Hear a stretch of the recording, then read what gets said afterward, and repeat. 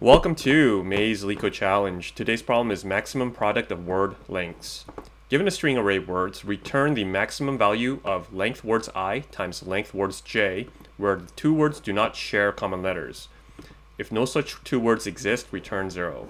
So this is the key here. We need to figure out how do we figure out uh, whether two words share common letters or not. Uh, the rest, I think we can just do straightforward and do a nested loop.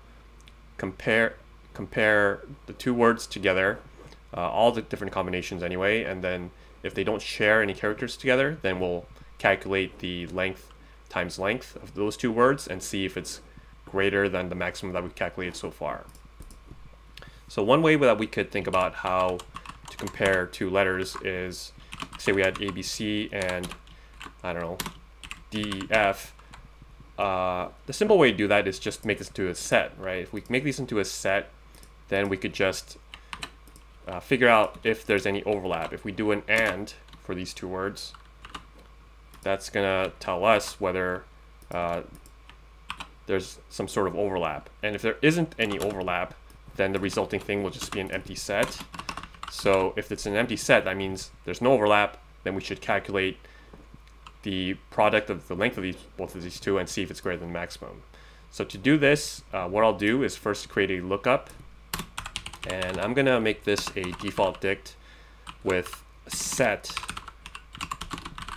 being the default key. Oops.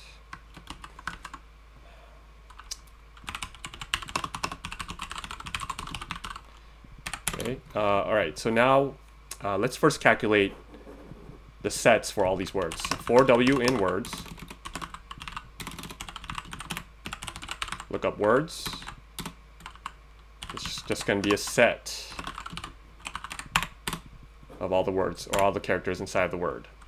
Now all I have to do is say, all right, for i in word and for j in words, uh, let's figure out a way to compare if they don't share, okay? If they don't share any characters, i and j, then we're going to calculate uh, the length of these two and uh, see if it's greater than the maximum. So we start with the maximum of 0, and we'll say, okay, max equals uh, max of max and length of i times length of j.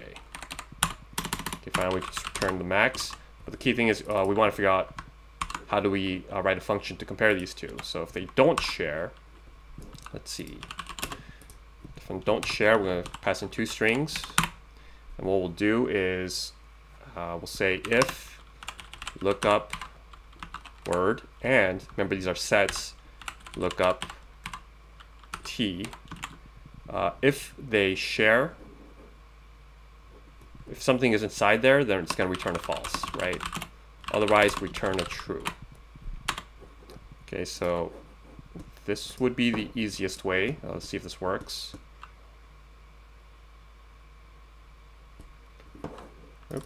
W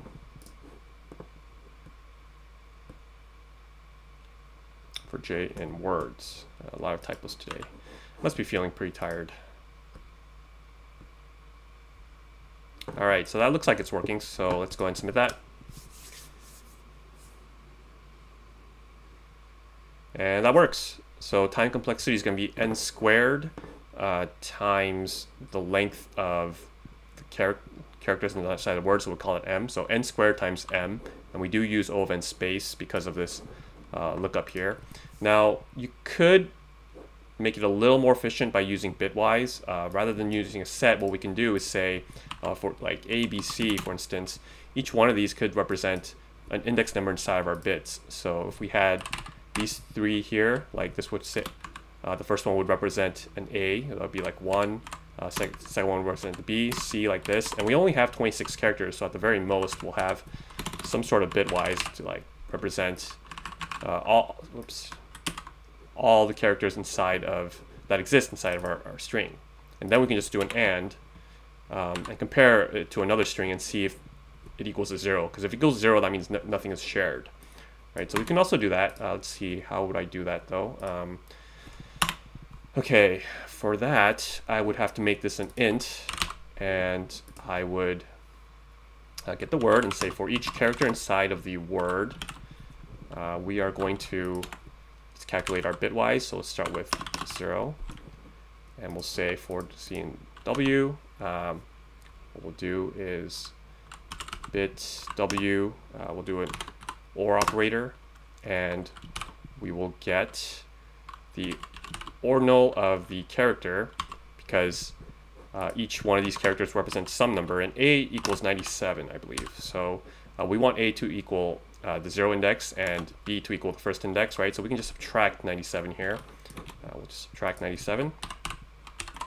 And then we'll do a one operator to get the bitwise, or I'm sorry, the one shift.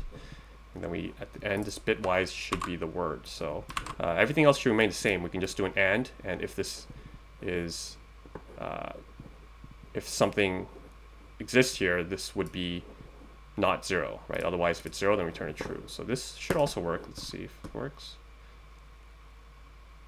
Oh, what I do here. God, I'm all over the place today. I apologize. Let's see if that works. Okay, so that works too. And let's go and submit it. Accepted. So time complexity and space is actually the same.